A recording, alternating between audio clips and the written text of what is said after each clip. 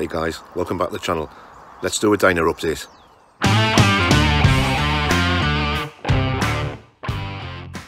Here we are again then, Millie's American Diner.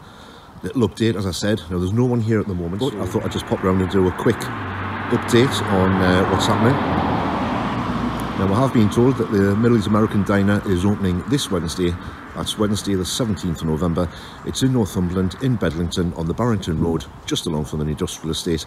Uh, we'll all be here and hopefully we'll be going live. Yes folks, we're going to try and get everything set up so we can go live from the American Diner on opening day. Hopefully we'll see you all here on Wednesday night. Bye for now.